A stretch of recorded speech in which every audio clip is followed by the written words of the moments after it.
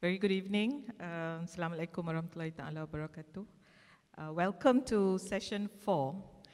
Uh, the topic of session four is quite interesting and exciting, so I hope you will stay through with us and we leave together to brave the traffic till the end, so stay with us.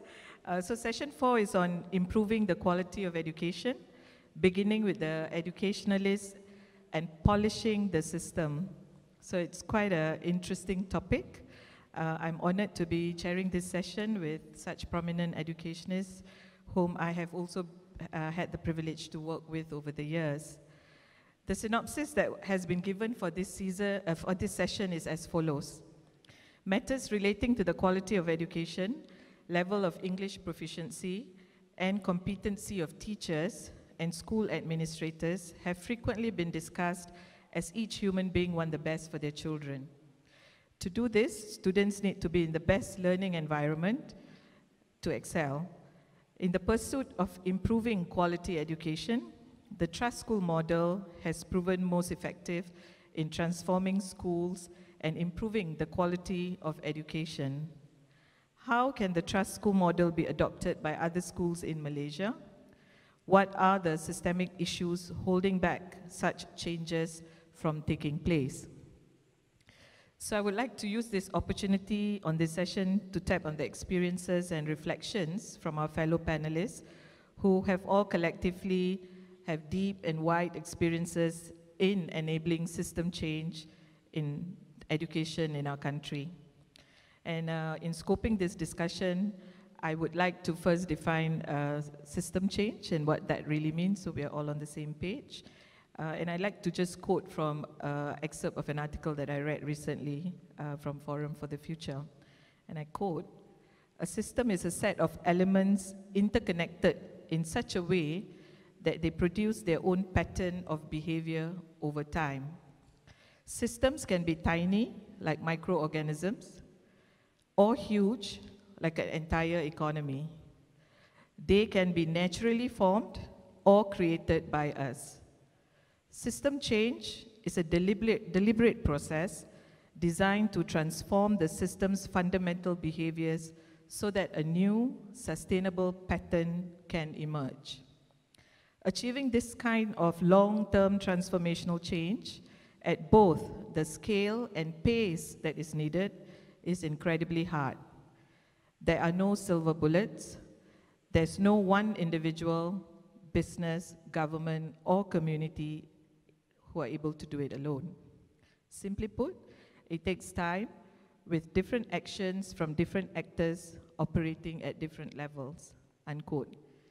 So it's interesting that we are at the, uh, at the end of this session and I hope that we could at least unravel some mysteries around system change uh, that, that is localized uh, and uh, real, real, you will hear real stories from all of our panelists who have had um, real life experience in driving uh, education reform or transformation in the country. So on our panel today, if I may uh, quickly introduce our panel very briefly, uh, we have Datin Noor Azimah Abdul Rahim, Chairman of the Parent Action Group for Education.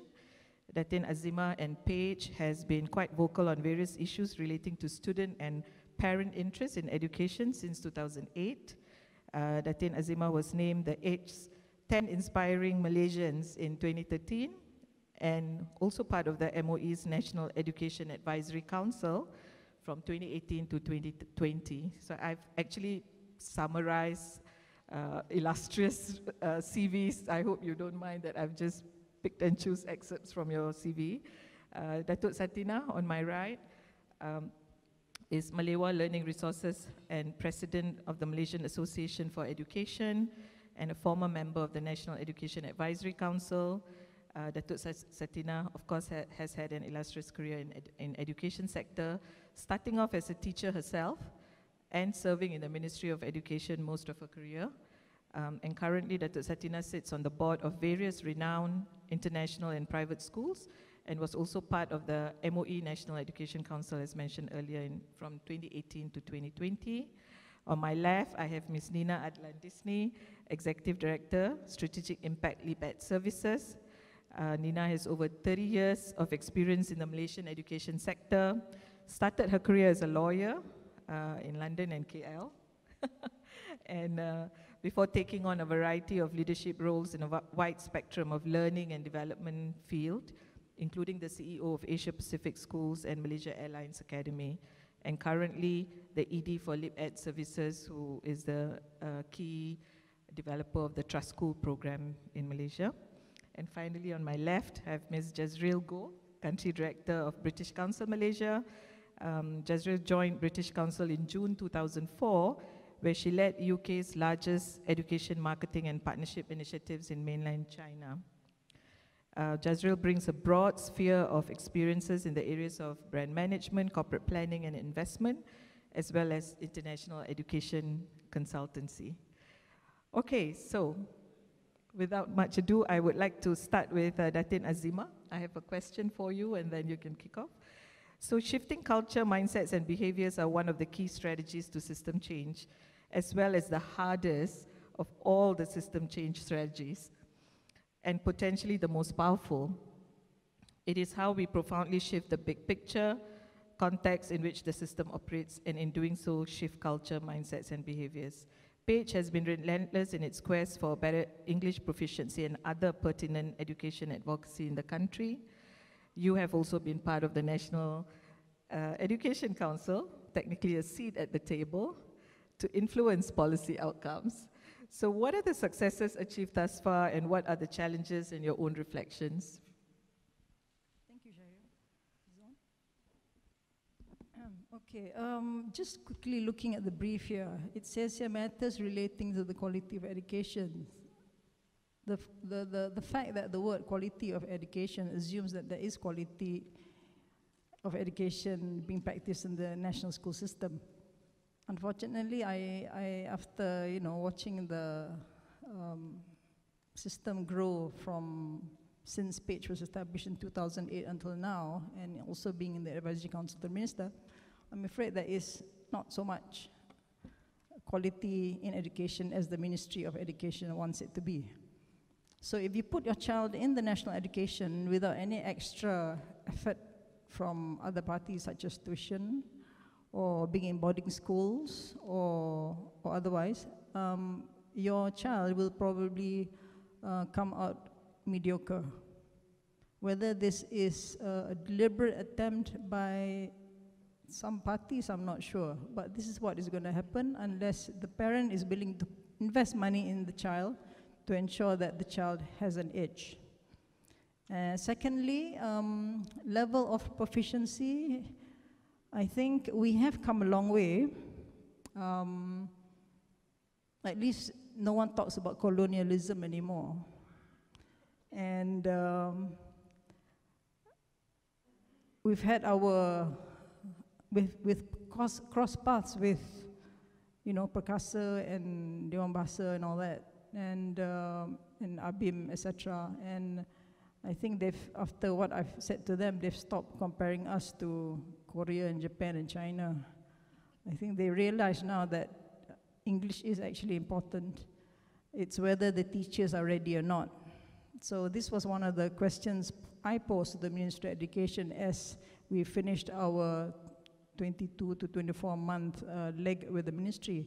I told them with when science, maths, and English was um, introduced, the teachers they had to flip flop on that because that policy because they said the teachers were not ready.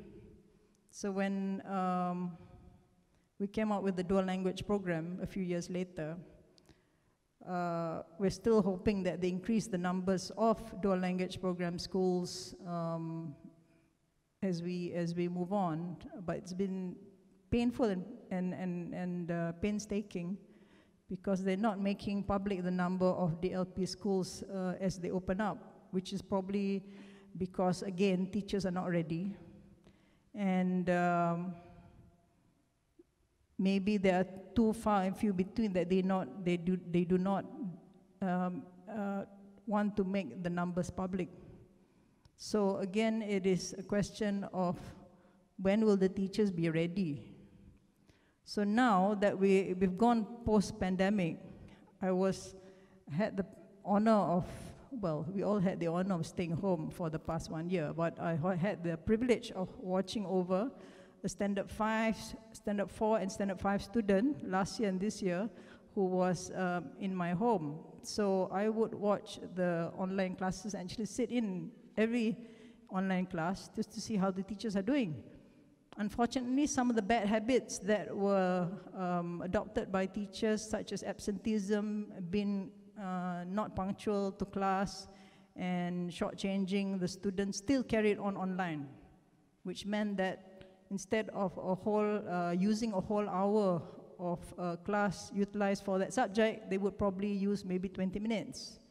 And instead of teaching uh, student face to face, what they will do is probably just put on an activity or a quiz which the child will use in 20 minutes and wasting the next 40 minutes.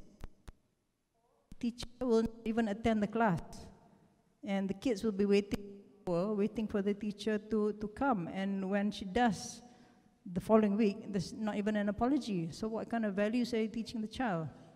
So, it's great that you know in our earlier session the university uh, universities uh, earlier were very mystic. I'm not too sure about schools. I'm actually an optimist but what i've seen in the past few years i'm not very optimistic. In fact quite pessimistic about the way things are going. I think the problem is not us but it's the problem is the ministry ministry of education which doesn't think that there is a problem. So unless until the ministry realizes that there is a problem, we're not going to go move very far. But I, but with the COVID, post-COVID, I think this is the time, uh, better than ever, to make significant changes uh, in the style of teaching, um, the curriculum itself, and I, I truly hope that uh, you know the the Timbalan Pengarah earlier said that there will be uh, we can expect new things to be happening in schools, waiting for something or other to happen. And I think, I also hope that when uh, MCMC launches its Jendela and completes the project, uh, uh, I, I, hope to see some serious uh, blended learning and uh, technology being brought into schools uh, for the teachers to utilize because learning, as we all know, it's, it's restricted to the four walls of the classroom, but beyond that. So, um, and I, I, I also, I I'm, I'm, a great advocate also of um, trust schools, and I don't see why uh, trust schools have been in the picture for so long, yet the ministry is not welcoming it with open arms. You know, it's, it's a good product, it's a local product, and it's been tried and tested. So, and, and so we need ministers and top management of Ministry of Education who are open to the idea of trust schools, see the benefit of trust schools, and then let's, let's implement it and keep it going. So I don't, I don't see why they are um, uh, not giving the support that they should if they are really serious about um, uh, not producing any more mediocre students. So that's it. Thank you.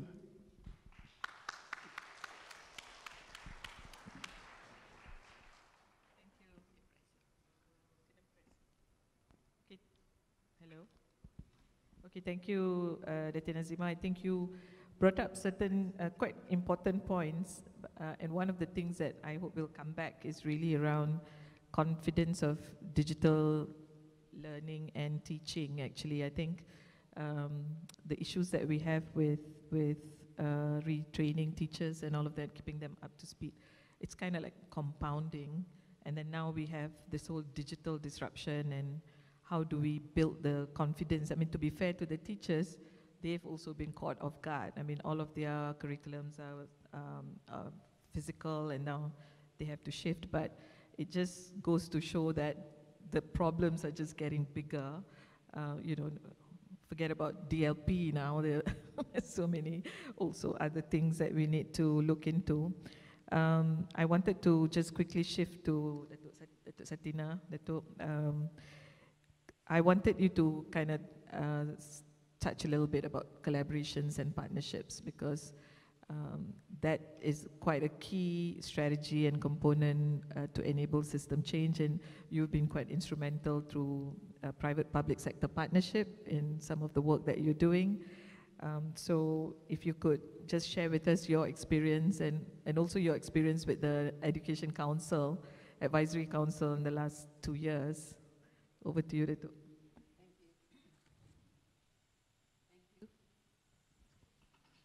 Does it work? Okay. Thank you. Assalamualaikum warahmatullahi wabarakatuh. Uh, and good evening. Uh, first of all, I would like to thank uh, Tan Sri Michael Yeo as well as uh, his team uh, at KASI and also NAPE and MAPKU for inviting me and giving me this opportunity uh, to, view, to actually to present a little bit of my points uh, on, I think Shahira has asked me to talk about PPP, public-private partnership. Um, I think the whole morning today we heard a lot of things, and the PPP words has come out uh, quite a few times, uh, including that that was uh, mentioned by Tan Sri. Uh, I think uh, Datuk Paramjit also did mention as well.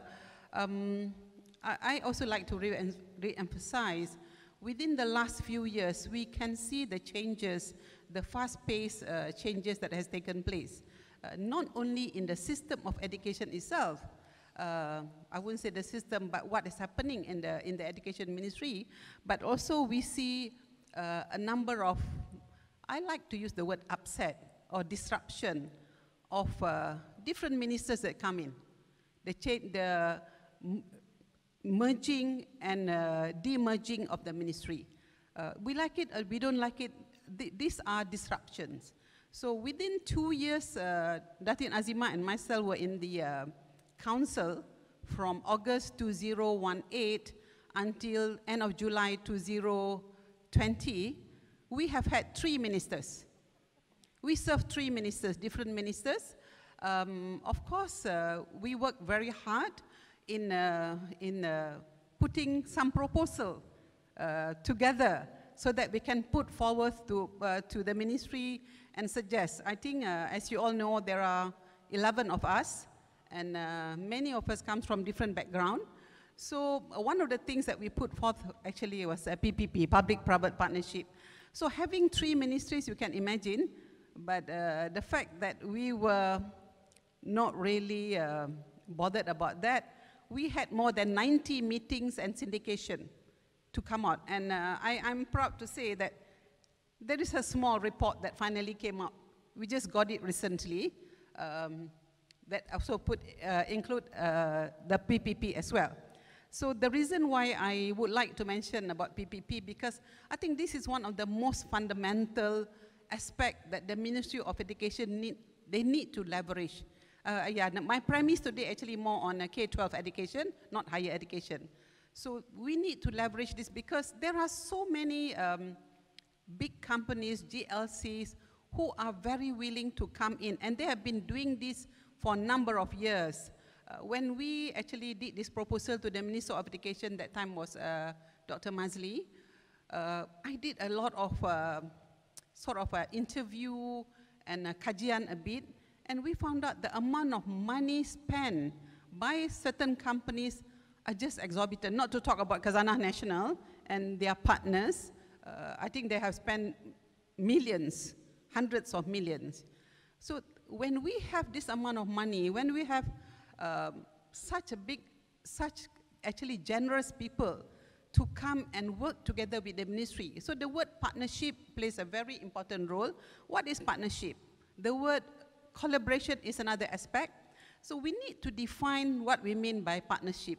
Partner means you should have almost equal, um, I wouldn't say power, uh, equal ways of looking at things whereby the win-win situation will actually will emerge. Uh, personally, I do not see this. Uh, personally, I openly, which uh, we mentioned it, the team mentioned it in our report as well, that, um, that actually sometimes when the, these big companies, the CEOs coming to see the Minister of Education, I, I have been in the Minister of Education for a long time, um, they are treated, I use the word beggars. They are sometimes being asked to wait for an hour to meet a very junior officer. What does it mean?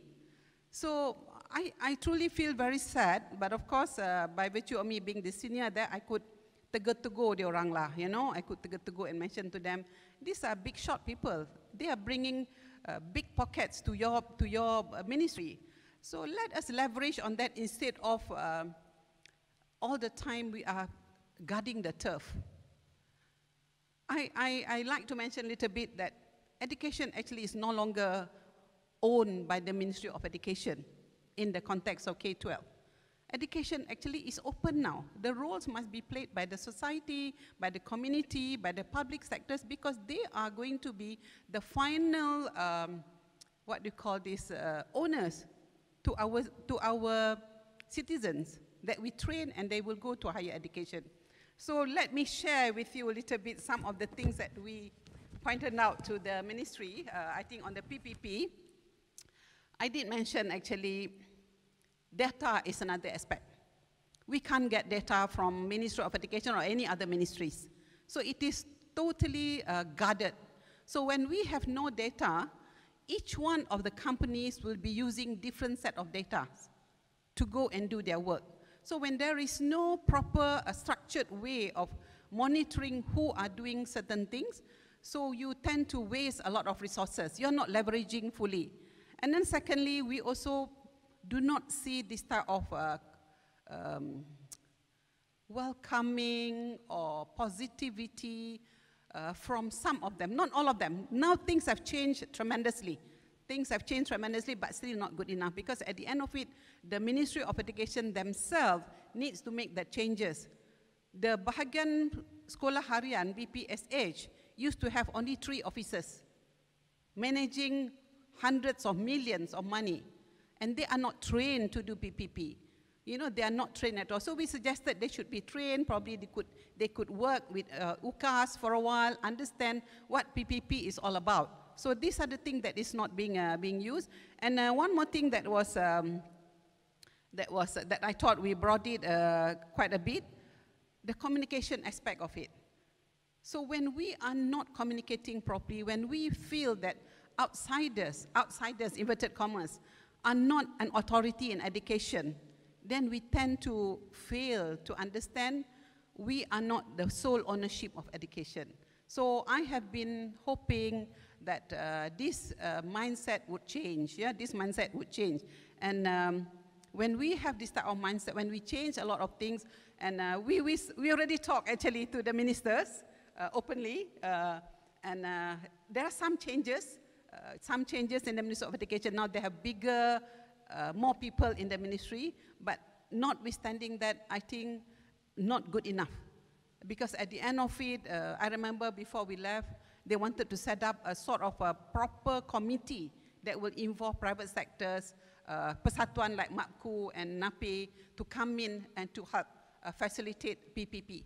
So I can't, that's, I don't know whether I have time a little bit. So I think one thing that uh, all of us should understand actually, there is no point for 10 big GLCs to come in if they themselves are not actually being, uh, being told what actually that you can do. because when they come in, they can do a lot of things. For example, I was very involved with PINTAR Foundation. PINTAR Foundation have adopted over 500 schools in doing actually uh, CPDs. I was involved with uh, Khazanah as well, an amazing uh, transformation program that has been done. And now I'm with Melewar Learning Resources. We have adopted, actually we have done what we call it as best project as SMK Keramas. We spent half a million teaching English and we have seen the results but the last two years. So we actually we don't look for recognition from the ministry. What we want actually welcome us, facilitate us, and be happy together for the sake of our children. It's not about us anymore. Thank you.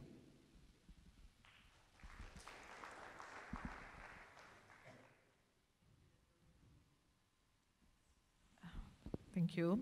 So, uh, yeah, I think you spoke about the power imbalance, which is really real. uh, speaking from a private sector that's actually worked uh, a lot with the Ministry of Education, I think that sense of power imbalance is always there instead of looking at each other as equal partners in looking at the best outcome, student outcome and school transformation that we're all um, trying to contribute together. So uh, I wanted to then, so then my next two speakers uh, are individuals uh, and institutions who have done quite a lot from the private side, contributing to education reform in the, in the country. Um, and if I may also take a little bit of time to talk about the trust school. You know, I, I have been in Khazanah since 2006 and was part of the team. Uh, and indeed, it is perplexing 10 years down the road. And I think the idea of the trust school was to demonstrate a model uh, using the existing structures. Same curriculum, same school, same textbooks, same teachers. Can we have a better student outcome? Essentially, that's what trust school was all about. Um, and what the private sector said they will can help with is to invest and demonstrate can it be done. So it's a demonstrative model uh, for public school transformation in the country, which Nina will speak about. And and uh, I think the total investments, not just from Khazanah, but also from other large conglomerates in the country, uh, is to the tune of about 600 million ringgit, including two social bonds that were issued behind the Trust School program. Huge investments trying to uh, demonstrate a model of public school transformation. Um, so with that, I will pass you to Nina, who's going to tell you where we are right, right now. And I think uh, for system change, sometimes we bring in a dis disrupt disruptive model or innovation, and essentially, that's what Trust School aimed to do. Um, and so I'm going to pass on to Nina to maybe share some of the journey and also the challenges to that. Thank you. Okay, thank you very much, Shahira. Hi, can you all hear me? Okay, now can you hear me? Okay, and I'm going to be the proverbial, not the sage on the stage, right? Because 21st century learning is now about being a guide on the side, right? okay, so as Shahira said, I'm going to tell you a little bit about the Trust School journey and what have been some of the systemic challenges that we have faced which have prevented the Trust School from maybe being, having an even wider impact. So I do have some slides. Can I just have my slides, please? Uh, I'm not going to go through each one of them, but I, I do believe this will be uh, distributed and circulated to everyone later. So let me just focus on a few things. If we go to the next slide, okay, I, I won't do the PR piece, but enough, suffice it to say that as Shahira mentioned, LeapEd was set up to be the designer, developer of the trust and deliverer of the trust school model. It was established by Khazanah, as she has mentioned, and in fact, in the same year, uh, Teach for Malaysia was also born, right? Uh, yes, and there were three educational initiatives that were kind of provided uh, seed funding at the time, right? You had uh, Yayasan Amir, Teach for Malaysia, and LeapEd. Okay, but after 10 years, I just have to say, a new development is that after 10 years of investment, Khazanah has handed over the baton to us. So last year, myself, together with the management, I've got Conrad here, who's one of the original uh, founders, the founding fathers of uh, LeapEd. Uh, we have actually been given the responsibility to take LeapEd to the next stage. Now, whether or not some frustrations with system have, you know, a role in that, I don't know, I wonder. But whatever it is, uh, we are tasked now, we will continue, we will push on with the Trust School program, but we have to pivot as well. Yeah, we have to pivot because we have to do uh, things beyond the Trust School program. And after 10 years of intervention, we have a lot of learnings, a lot of things that we can do beyond the Trust School. Okay, so what exactly is the Trust School? I'm not going to go through this. A lot of people have already spoken about how education is changing, you know, the, the, the UNESCO's uh, 2030 agenda. Of course, you've got the UN's SDGs. People have talked about the uh, World Economic Forum. So all of those things come together, But what we've tried to do in the Trust School program is to contextualize it to a Malaysian context, building on the aspirations of MEB, the Malaysian Education Blueprint, which is a fantastic blueprint. Some countries have copied our blueprint wholesale. They just change the picture and it's become their blueprint. So it's a fantastic document. But like many things in Malaysia, where do we fall down? Implementation, right?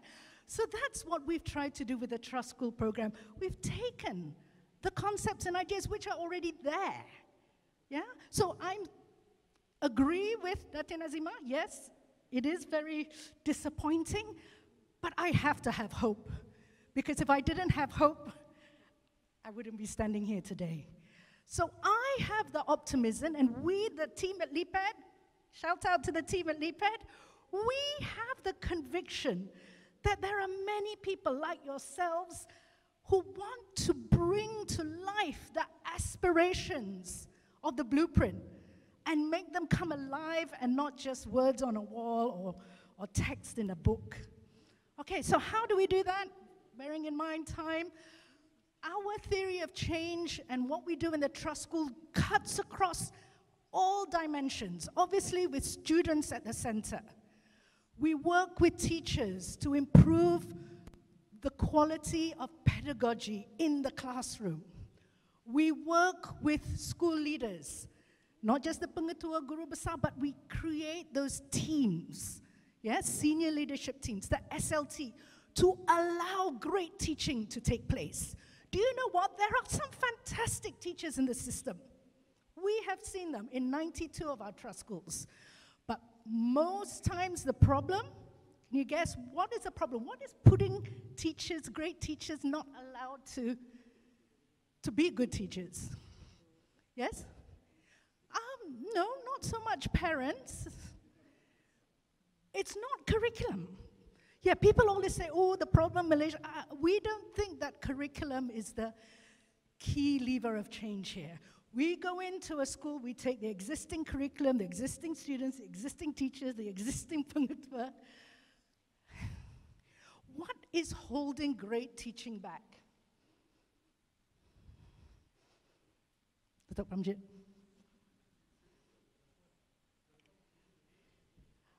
Okay, you know, I wish that it, it were money, because if it were money, it'd be easy. We can fix that. It's, it's more intangible than that. What is holding back great teaching, great teachers? Come on, Sinseng, you must know. Culture, thank you. It's system, it's system culture. It's the teacher next door say, apa lah you nak tunjuk pandai ni? Just buat aja lah. Just teach the exam what we're not prepare, you know, do lesson planning and all that. And then it's showing them up. So this, to me, is the key issue in our system.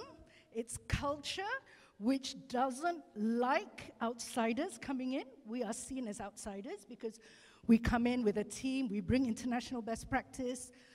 They don't like outsiders coming in. They don't like us, you know, helping or what they see as, you know, menambah beban, because now they actually have to do their job. But we're not actually menambah beban. Actually, they're just doing the tugas that they should be doing in the first place. But it's perceived as menambah beban, right? But having said that, although there may be resistance at the beginning, you will be amazed at how the good teachers in the system will just come into their own when they become a trust school because we provide that environment that will allow great teaching and great teachers to flourish. Right? So I think one key problem issue with the system is that they bring in a lot of programs, but it's never evaluated. And if you keep planting flowers and it doesn't grow, you chabut, you put in a new plant, but you're not actually looking at the soil, you're not looking at the rain, you're not looking at the sun. So when we do culture change, that's what we're doing. We're creating the environment for great teaching and learning to take place, for distributed leadership to take place, for, for, for, for schools to be empowered to make decisions that make sense to them, for their schools, for their communities, not waiting for some, you know, punca kuasa and some directive to come down from JPN or BPSH or wherever it is. Yeah? So these are the key system issues, yeah? Quality assurance. This is another issue. We have to be truthful, like Datin Azimah says. Let's have proper data and proper baselining. You can only get better if you admit that there's a shortcoming in the first place. Kalau semua orang short sendiri, we're never going to get anywhere. So these are some of the things that we do using the existing tools and instruments like SKPMG2, but we use them in an authentic way to tell the story and to encourage great teaching and learning in our schools, which is taking place. So, not 100% opt optimistic, but not 100% pessimistic either. Thank you.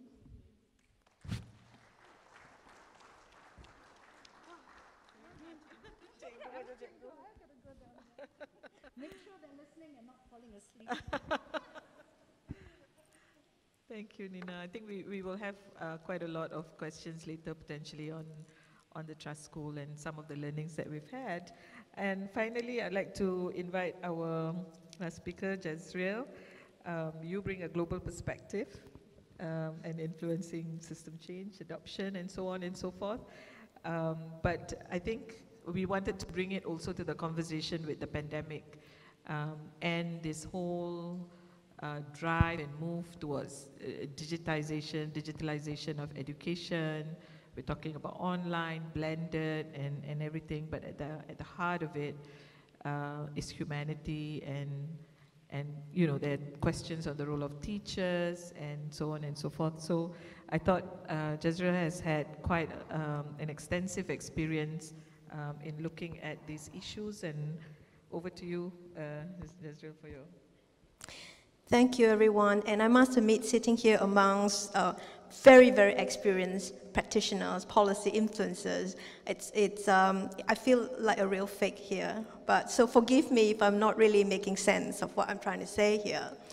I think um, perhaps I'll take the angle of um, the impetus behind um, modernization and transforming our education system. And um, as we go on with this transformation and with modernization, I think we need to remember that uh, we are probably, and it can be argued that possibly this is the fastest rate of change we have ever encountered, but also we are living in the slowest rate we will ever see.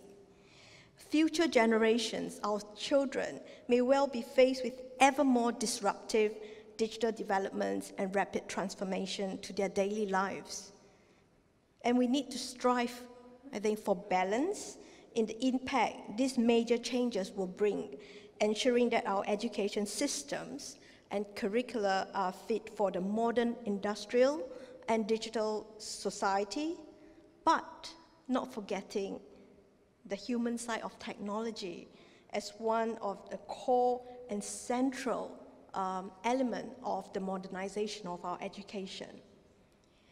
I think that getting this offer right, ensuring that the system through which knowledge and skills are delivered are fit for purpose, ensuring access.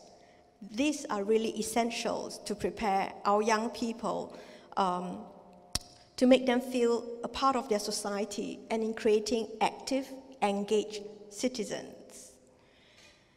So when disruption comes at a pace from anticipated areas such as digital innovation or unanticipated areas such as the pandemic that we are still actually still ongoing, I think the modernization of our education system is a pressing need, but not one that we can address as just one country but it's something that we all need to work together as part of a global education community. So bring, being able to bring in learnings from other countries, being able to admit that perhaps we are not doing so well, and perhaps we really need to adapt, learn, adopt from other countries, I think it's really, really important.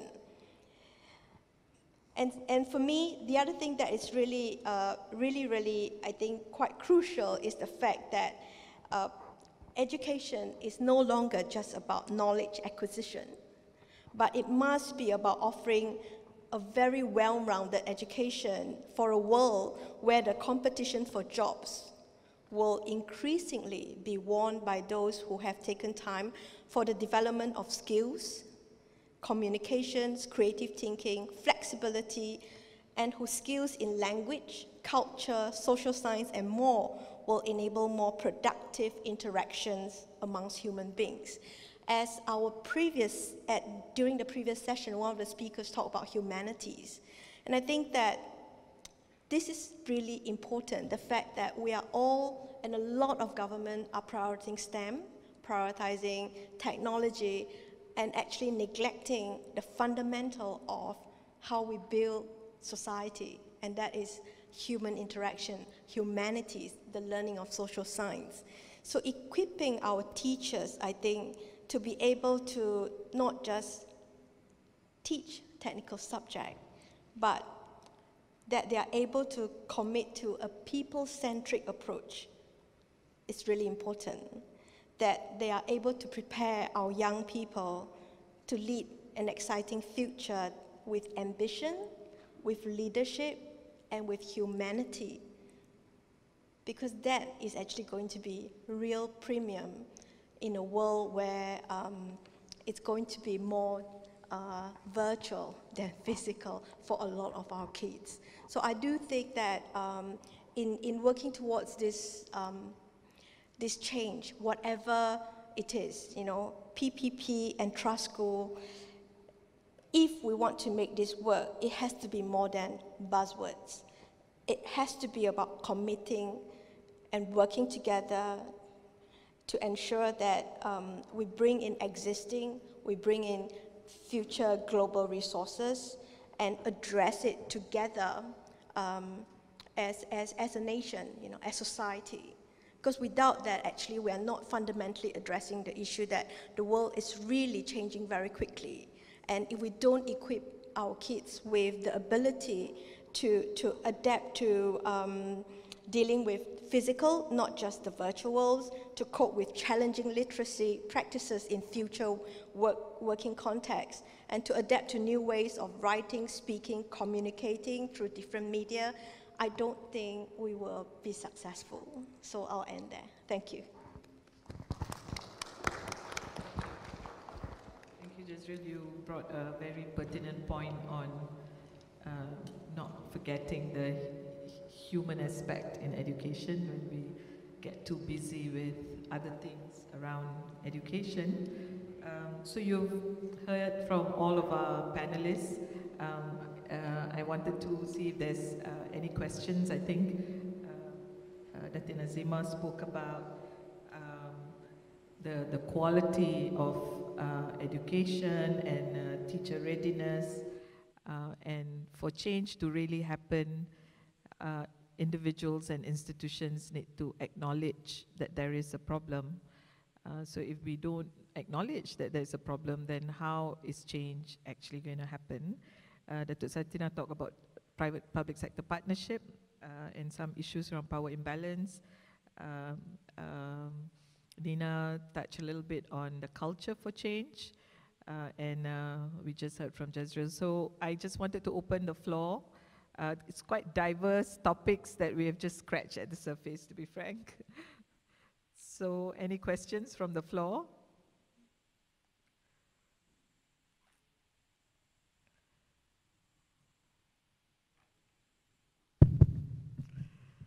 Hi, good evening, ladies.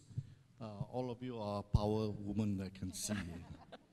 um, very glad that uh, to hear so much of uh, from all of you, so passionate, either as parents or citizens of the country. Um, definitely is uh, very eye-opening. I have two points over here. I'm not sure which one I should go first. Um, Never mind, I go by the flow that I wrote uh, during the, the speech itself. The first one is if you were, if you were the minister, if you were the director general, um, and which that you can influence the entire education in this country significantly. Which are the two areas that you will start first? Sure. Which are the two areas? I tried to say one, but I, th- I thought that there would be more than one. And neither do I want to say three. I just picked which are the two areas do you think that you will start first? That's my first point. And I'll keep the second point depending on your, re- uh, your response on the first point. Thank you. Um, definitely for me, it has to be proficiency of the English language. It is so important. And secondly, maybe it has to be the teaching of values.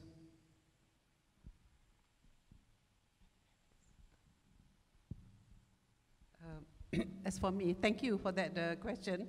It's really great. That I, I don't want to be the DG, I want to be the minister. Then only you can change, otherwise, you can't change. I think the first thing that I, I would say, uh, when, when, because this is in relation to when we did the education blueprint in uh, 2012, 2013, the most fundamental aspect of uh, education transformation or system change for that matter, actually the role of teachers and leaders. So if I, if I have the power to do it, I would change. I would put the best leaders in all schools and teacher training institute. And then, then, then we have to basically blast their mind into mind change. You, you need to change your mindset, not to feel that you are superior compared to the rest of uh, the citizens in this country. Acknowledge private sectors, bring in a lot of values into the system. That's what I will do.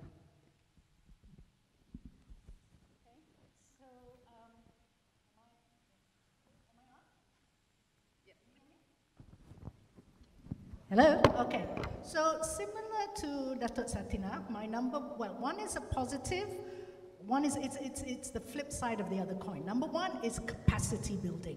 Because what we found in um, our trust school of the 10 years, if teachers are provided and leaders, school leaders are provided the support and the guidance, and it has to be in school, you know, it can't be just a course, touch and go, you go to some benkel, and then you'll magically be able to apply it.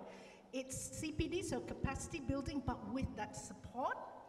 And then the flip side of that coin is we do not at the moment have an effective mechanism for dealing with talent deficit in the system.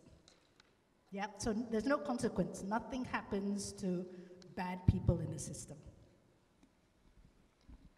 Thank you. Um, well, if I were the minister, then the first thing I'll do is to change the constitution, and ministers will not be from any political party. They would be privately appointed so that there will be no politician involvement. Uh, the second thing I'll do is I will set KPIs for the minister and his team. Um, and one of them would be uh, I agree with the rest, actually teacher training and leadership. I think that would be most important. Thank you.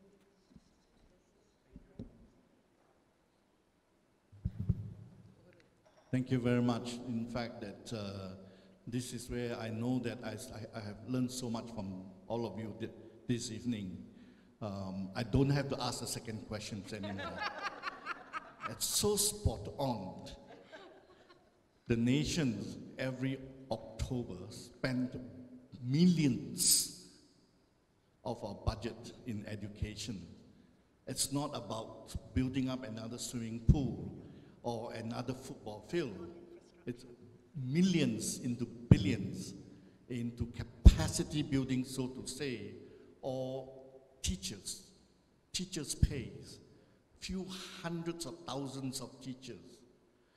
If there is just be under the human resource ministers to transform these teachers, attitudes of the teachers, the value propositions of the teachers, how passionate they should be on the first day why they chose teaching to be their profession, not just another safe job when they retire, they got gratuities. The world have changed.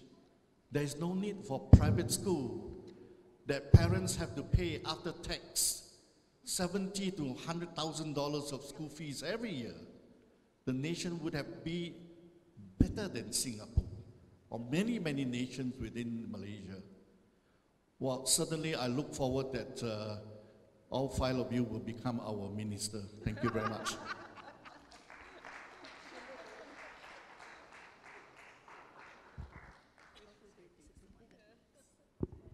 Thank you. Yeah. Go ahead. Thank you. My name is Asma. Um, I'm just an interested um, person um, on education. Um, there are a lot of materials I saw outside on LeapEd, and there are a lot of quantitative data. I'm just wondering, you know, have you ever done a qualitative research project um, identifying key learnings or key um, yeah, uh, improvement that have been made, you know, so that we know what are some of the uh, issues that people are grappling with qualitatively. Yes. Thank you. Absolutely. Thank you for that question, Asma. Yes, what we have summarized in our uh, books in an in- infographic format is the quanti data because that's always easier to present. But having said that, any impact study that we do has qualitative data as well because that is important to triangulate your quanti data. Um, so yes, while most of the uh, you know, reports that we publish focus on the quanti because that's easy to see and, and, and, and present. We have a lot of very detailed qualitative uh, studies as well, and not just internally. Trust School program has been evaluated by external studies as well. So it's not just us beating our own drum. So I'd be very happy to send you some of that qualitative data as well if you're interested.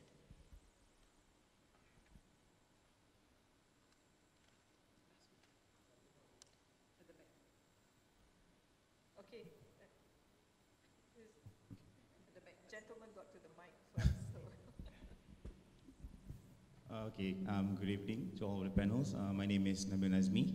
I am the uh, ambassador of an NGO called Hunger Hurts. So um, this question is open to all of the panels. I'm quite curious on uh, with the with the initiatives um, that are being too focused on the uh, technological advancements. Um, fundamentally speaking, I am uh, curious about how can we inculcate the students with a more balanced, um, moralistic, and holistic approach for the future for the future education as well as arts in uh, future education. So thank you. Hi, thanks for that question. Yes, and the Trust School program, as I mentioned earlier, is completely curriculum agnostic. Yes, so we're not there to teach specific skills. It is about raising student, holistic student outcomes. So engaging them on how to learn, making learning fun and exciting so that they can be lifelong learners. We focus on five C's, for example, communication skills, yeah, celebrating coexistence, yes. Um, so a confidence, building confidence. So anyway, I could go on and on and on, but it is about those holistic skills that we focus on. And you know, to be honest, we have schools. We have rural schools, urban schools, Orang Asli schools. So the aim and objective is always the same. It's holistic skills, not specific, specific uh, technical skills. I think if I can just add on that, um, you know, I mean, if you if you think about the challenges that we're having right now, like I said earlier, it seemed pretty compounded with so many issues that needs to get tackled. Um, and uh, just to share from Yayasan Hasanah, we have a lot of programs going into schools uh, that actually focuses on environmental education as well as arts education. Uh, that is probably getting uh, left behind or forgotten. Uh, and these kids being, you know, tech natives, uh, as they call, as they are called, um, may forget somewhat or not focused enough I think on climate change and all of that, that's a topical issue, but actually our national culture, tradition, and heritage. Um, and our experience with students is that with, with, at least the current generation of kids being in school, they are actually uh, motivated learners. Uh, and all you need to do is just point them to the right direction um, and, and actually they leap uh, in quite admirable ways. Uh, so, so, you know, uh, I think the, the session before this spoke about are we evolving with the times, also with the learners that we are con confronting with. Um, sounds like we're not, I think the doctor was saying that now technology has enabled so many new ways of testing the patient, but in medical school you're still being taught the traditional ways. Uh, and uh, I mean, you know, there's, there's nothing wrong with the traditional ways because there, there merit and wisdom to it, but I think evolving with the times is something that we need to do. So we've, we've seen very promising outcomes uh, at co-curricular level, actually, because obviously we can't do it curricular level, but at co-curricular level, the students are doing amazing when they're given the opportunity uh, and when they are being guided the right way to take ownership of learning and experimentation. And it's actually been very promising and actually quite heartening to see. I, I would like to add up, just echo what uh, Shahira was mentioning. Um, actually, I'm, I sit as an advisor for Design for Change Malaysia. I've been with them since uh, 2018. And uh, about a year and a half ago, we brought a group of 60 students to Rome for them to actually showcase their own creation, their own initiatives. These are done by the B40 children from Kelantan, from Terengganu, and uh, from Kedah, mainly, except for a few from Kuala Lumpur. See what amazing things our students can do when we empower them. I think empowering students to allow them to basically to harness their talents is one of the most important things.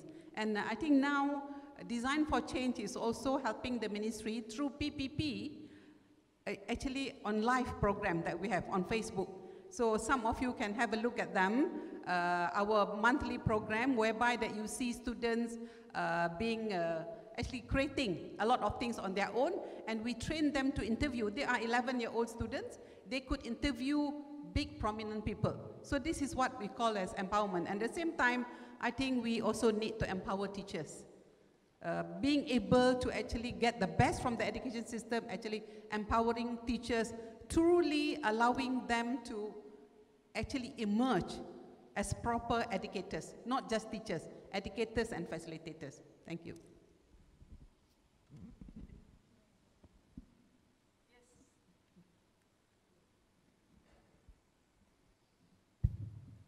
Hi everyone, um, my name is Isa Ismail. I am from the British High Commission. Um, hi Jazreel. We are always in Zoom calls together, but this is the first time we've actually met in person. Um, so your, your explanation by the panel members just now uh, sort of segues quite nicely into the question that I have, um, which is um, about education quality, but also inequality. So we, we're talking about the future and ideally uh, an education system that is shock-proof, and it's not just about the pandemic, it's any occurrence in the future that would shake up the education landscape, if you will. One topic that we didn't really touch in the panel itself, but through the question and answers, uh, while improving quality, is how we address inequality and inclusion. Because uh, I like to think that the future is inclusive, and because uh, the panel members are all women, the future is female, uh, is what I like to say. um, and inequality is a big is arguably, arguably the biggest systemic issue um, we have in, in, in, the education sphere. And perhaps that's a different topic for a different day. It's a very big fish to fry. But how do we realistically make sure no one is left behind when we improve quality? Because uh, uh, some of the criticism, uh, because I'm looking at this in, in, the economic development point of view, some of the criticism is that we're always uh, designing education, uh, elite designing for the elite. So just to reiterate my question, how do we make sure no one is left behind when uh, in our uh, vision to improve uh, quality? Thank you.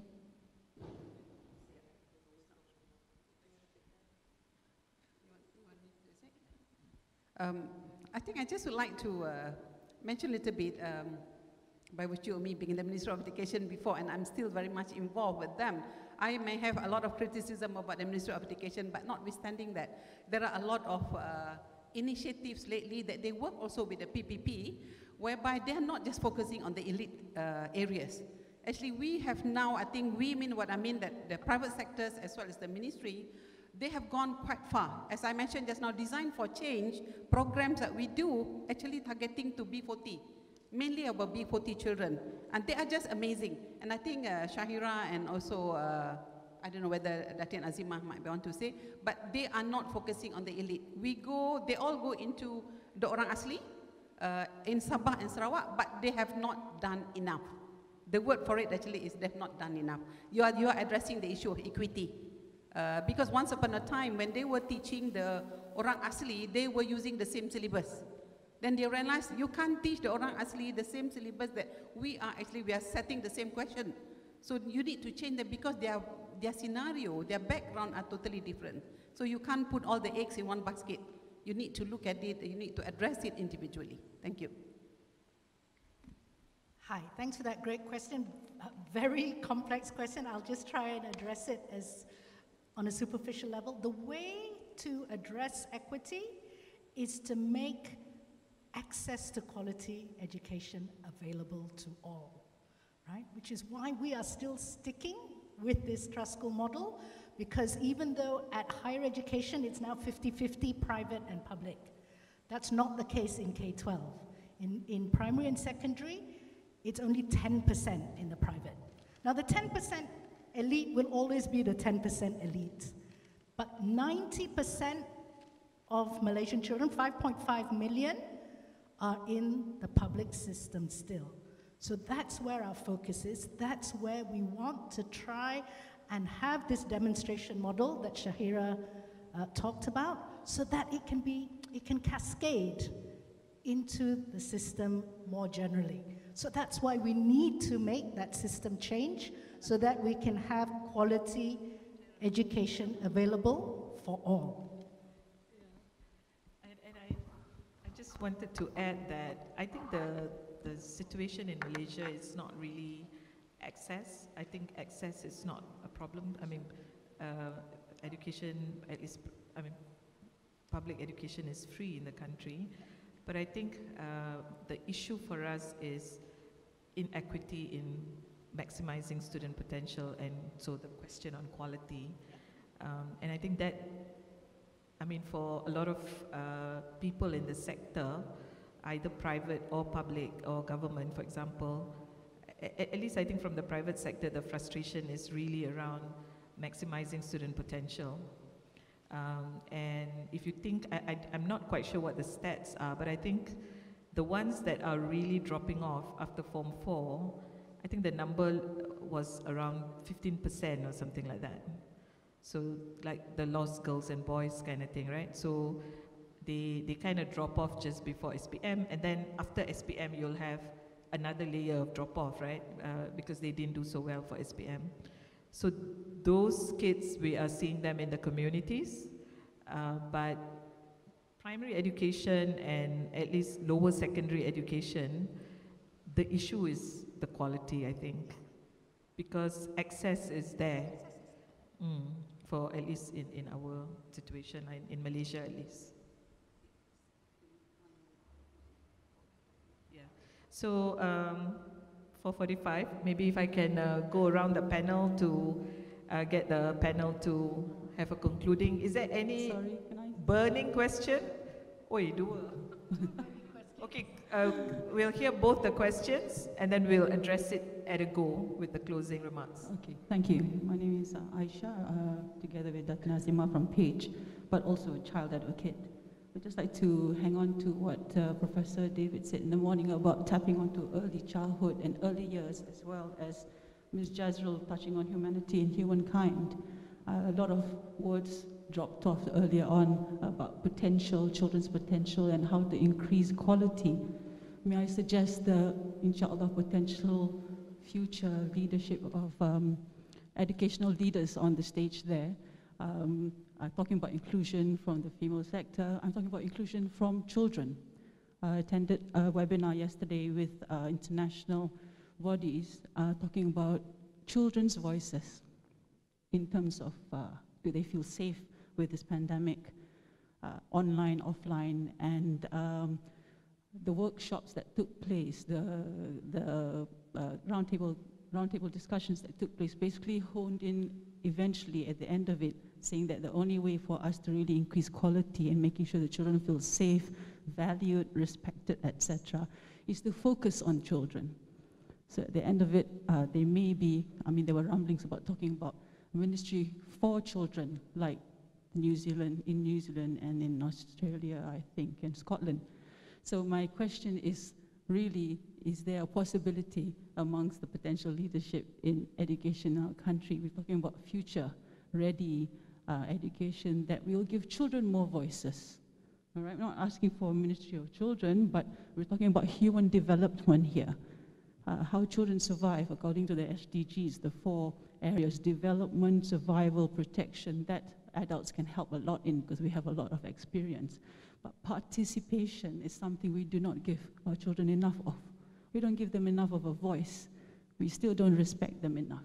So if we talk about inclusivity and equality, I think we need to empower children more in our classrooms in order for our quality in education also to improve. I hope that's an invitation. I hope the answer is a yes. Thank you. Thank you. One more last. Good evening, everybody. Uh, my name is Nazira. I'm from Hunger Hearts Malaysia. So my question, I'll make it very, very brief. So I am very curious since we want to produce uh, more quality graduates uh, in order to support our economic growth. So why don't we put the executive development or the work ethic culture in the first day of the degree instead of putting it at the very end, which is the practicum? and uh, so that the graduates will be more uh, will be well prepared into uh, supplying the demands or fulfilling the demands from the working world. Thank you. Thank you. So, so uh, why are we not training uh, graduates to be prepared for the workplace while they are in university rather than doing it at the end? And, and I think um, I wanted to just give a short comment on that because uh, Khazanah and I think quite a lot of government-linked companies uh, have always been tasked to look at graduate unemployability schemes and programs. Um, and, and one of the kind of mystery is that why is it that after spending uh, 12 years or whatever in school and another three, four years in university, they have to come out and do another nine months or whatever to learn how to ace an interview or write a resume and so on and so forth. Um, but essentially, that's what it is. And so, you know, I think some uh, higher learning institutions uh, are now incorporating that. I know some schools have something called the finishing school, like just before you graduate. But actually, these skills should be embedded, right? Um, and, and, and, I, and, and I think that uh, I mean, from my own personal learning experience in higher education, uh, I do learn quite a lot from my professors who are practitioners. Uh, some of my part-time lecturers or adjuncts that come in and and teach because they are they are speaking from real life experiences and all of that. So I think the the diversity of experiences from your teaching cohorts I think helps a lot to to kind of ground. Uh, but, but yeah, your, uh, your, your question is, is a good one. We may not have an answer, but perhaps something that we can do better um, in equipping the graduates uh, to be a lot more employable in that sense. But yep, so we're wrapping up. We're running out of time. Uh, can I start with that? Um, to your question, Aisha, I think um, question as well, right? Um, I think it, was a lot worse, say 10, 20 years ago, when uh, children would be, say, put in a corner, make them stand on a chair as punishment. Now, you know, uh, teachers aren't allowed to do that to students anymore, although it does happen occasionally. But I think, um, I think we're more uh, focused about student-centered education, although, um, well, the ministry says that, but um, whether teachers believe in it is a different matter altogether. But I think teachers have to be reminded that um, stu the student's voice has have to be heard. And I think more and more advocates for the student, uh, ensuring that um, uh, students, the student's voice is heard. Um, and uh, to the other question, I think it, it is tough. Um, I too have children who are working. I've got a son who's in between jobs, and uh, you know they are always having to uh, be agile and having to do extra to secure that job. So it didn't used to be um, my time. You know, you just have a degree, you, a job is waiting for you, but it's not like that anymore. You, you know, and the higher you go with the masters, it's even more difficult to get a job, unfortunately. So that's the way it is, and it's, it's tough being a, being a job seeker nowadays. Thank you. Um, I just would like to answer the question just now, if I may, yes. on the uh, internship at the end of the programs, for example, in the studies. Yeah. Actually, uh, the uh, we have uh, what we call the structured internship program, where students go to the uh, industry which is uh, earlier during the semesters. We have also the structured industry attachment program or SIAP program, you know, where the students go actually uh, alternate semesters. We have co-op programs. So there are many uh, models of internship that are being introduced not only being introduced, but there are uh, universities are running it right now, conducting it. So, but we hope that we will have more uh, programs and more universities uh, uh to uh, work on this type of model for them to choose. Thank you. Thank you. Um, I think I just want to uh, just wrap up a little bit what I said. Um, one thing, there are two things that I want to say. One thing that, that for sure the system that is going on now, the education system before, is not going to exist anymore. The way students learn going to change tremendously. There's no more going to be traditional way. It was mentioned this morning. It's going to be blended learning or whichever ways that it's going to be. Evaluation, assessment will need to change. That is one thing. Therefore, to, to enable that to happen, teachers' role will not be teachers anymore. They need to be educators. Not just teachers, educators and facilitators. And uh, one thing that I missed out just now when I was talking about PPP and relation to this as well, if we were to actually allow uh, PPP to be enhanced properly, we also need to talk about uh, sustainability, like the trust school program. If they come in for five years, 10 years, whatever it is, what next? After they leave, what will happen? So between the both parties, uh, the stakeholders, they need to really talk about this. How do we continue with whatever uh, continuation that can be done.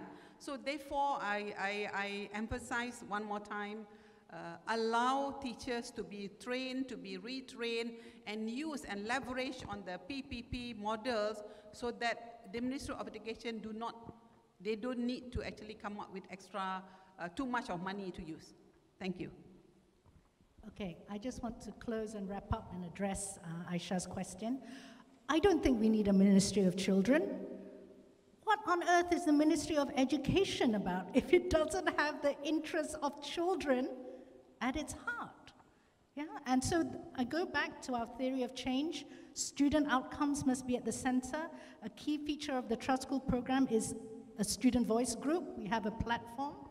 Uh, and the ultimate aim is about student agency, making, empowering students to take ownership of their own learning. That is the end goal nowadays for education. And I think what the pandemic has kind of underlined is how teacher centered we actually are. So we have to reduce that dependence. If students are more independent, if they are independent learners, then they will be able to adapt and adjust so much easily compared to having this dependence on you know, spoon feeding and teacher centered learning. And in order to do that, the system has to come with us. As Dr. Satinah says, sustainability has to be there. Because the Trust School program, we don't manage a trust school forever. We go in now, the new model, it's three years max. But then what we do is hopefully we've changed enough within the school and the system can keep it going.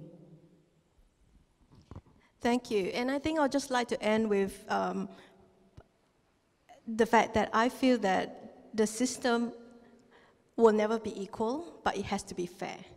So I think a fair system means that uh, at least there is a chance for students, especially those who are in rural areas, Orang Asli, to, to, to have the opportunity to, to be exposed to good quality teachers. Because somebody earlier, a participant talked about incentive.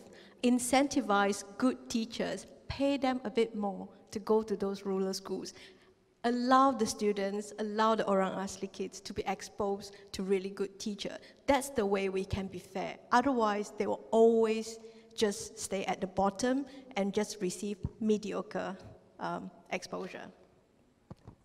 Thank you very much. Um, unfortunately, we've come to the end of the session. I'd like to take this opportunity to thank the panelists. If we could just give them a round of applause. Um, so we let's all leave. I think I like the that quality of education was the last session, a subject that each and every one of us uh, very passionate about. Uh, and um, you know, I would say that let's use this opportunity of disruption. I think don't let a pandemic go to waste in that sense. Um, and uh, think about your own spheres of influence, whether you are advocating for teachers, students, system, um, content, uh, technology, what can you do to help with the reset uh, that potentially we will be looking at in terms of what education will look like in the future. So thank you very much. I hope you've had a great day. Thank you. Assalamualaikum warahmatullahi wabarakatuh.